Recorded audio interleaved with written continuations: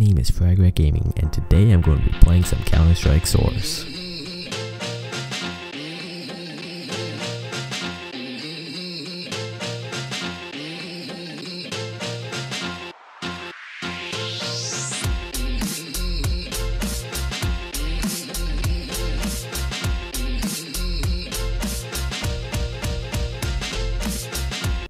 Hello everyone, my name is Fragarac Gaming and welcome back to Throwback Thursday.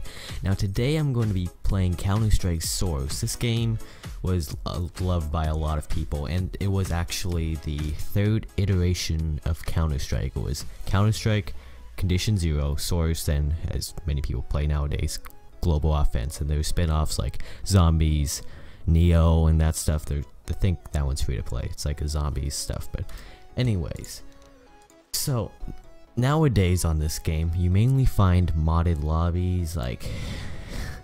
Well, I mean, you can just tell by the list right now. There was not a matchmaking system. There's no casual, competitive, or any of that stuff.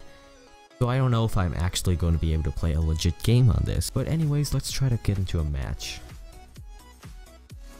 Okay, so I tried to join just a default office server, but I'm starting to question whether it is because I've downloaded a couple Pedo Bear models and VG underscore lol, guy. So I don't even know what this is to be. I finally found out how to mute everyone in this. It took long enough. The global offense kept a lot of the same maps that Source had, and I like some of the maps better in Source. I mean, they look a lot better in offense, don't get me wrong. Some different spots that you can go in on Counter-Strike Source, you can't go in on offense, which I think is nice to have, and, huh. Oh boy, AK. Did I even land a shot on him?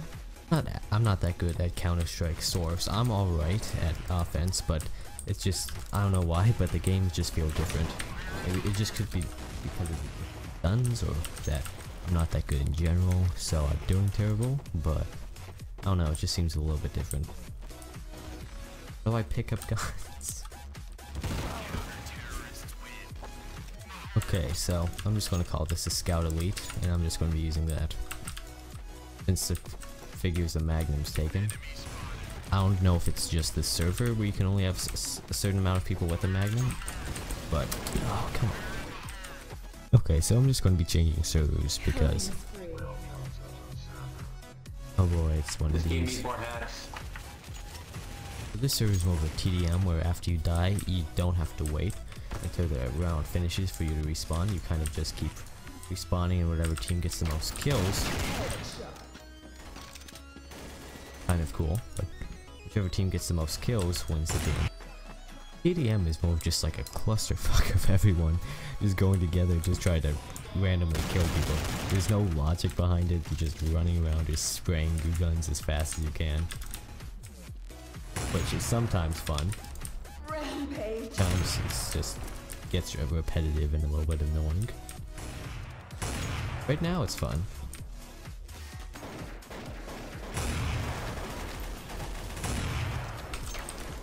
This game actually plays a little bit differently than offense. As you notice when I'm walking around with a crosshair, it does not blur at all, it stays the same. But that doesn't necessarily mean it's always going to be an accurate one-shot one kill if you're moving. You have to still stop, you just have to predict when that crosshair is actually going to land on the guy.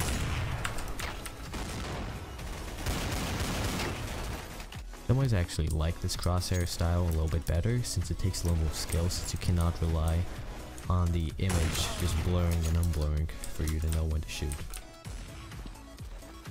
Overall, I can't really say much about this game. It's basically the same as Counter-Strike Global Offense except with worse graphics and a little bit different crosshairs. In the end, if I, I think if I had to choose between this and um, offense, I would definitely choose offense just for one server finding. It is so hard to find an actual server on this and I haven't been able to I don't even think if I I don't even think I've ever been able to find a dedicated server on this. If you want to play comp competitive or casual, you can just click on one of those two options, select, select your map and that's it.